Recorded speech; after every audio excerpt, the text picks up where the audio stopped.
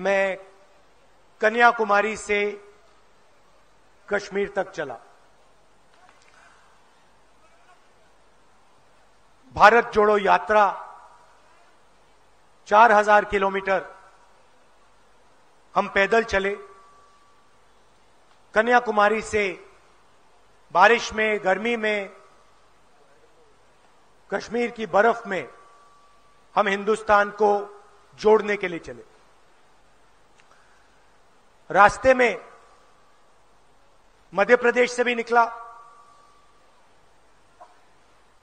लाखों लोगों से मेरी मुलाकात हुई, बातचीत हुई, किसानों से मिला, युवाओं से मिला, माताओं, बहनों से मिला। और देश को गहराई से बिल्कुल पास से, सड़क से मैं देख पाया। और इस यात्रा ने मुझे बदल दिया। एक दूसरी दृष्टि से, एक नए तरीके से मैं इस महान देश को देखने लगा। दो तीन सवाल मेरे दिमाग में थे। मैं अपने आप से इस यात्रा पे पूछ रहा था। पहला सवाल यह था कि ये करोड़ों लोगों का देश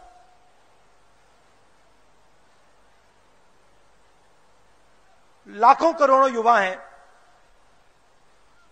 इतनी ऊर्जा है, इतना डायनामिज्म है, इतनी शक्ति है, मगर इन युवाओं को रोज़गार क्यों नहीं मिल रहा? जहाँ भी मैं गया, किसी भी युवा से मैं पूछता, भाई, क्या कर रहे हो? काम नहीं है। बेरोजगार हूँ।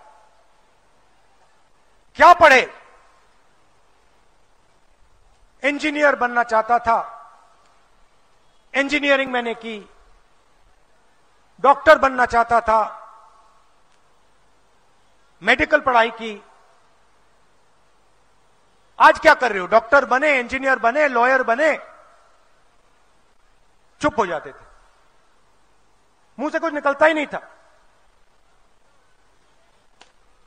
और फिर कहते थे नहीं राहुल जी, बेरोजगार है।